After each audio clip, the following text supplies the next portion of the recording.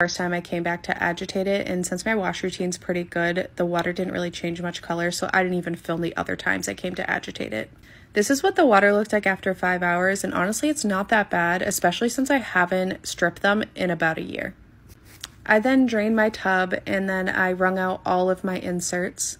These are all of my diapers, so this is probably going to be three loads because I don't want to overload my washing machine.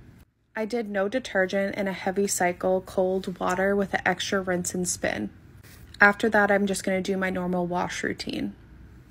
I was going to sanitize them, but that's just another step, and the water was pretty clear, so I just don't feel like I need to do that right now.